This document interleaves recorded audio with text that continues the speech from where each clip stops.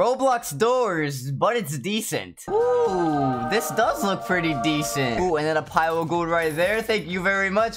Oh, there's a crucifix. Bro, I got a crucifix too. Oh, this is actually a pretty well-made hall too.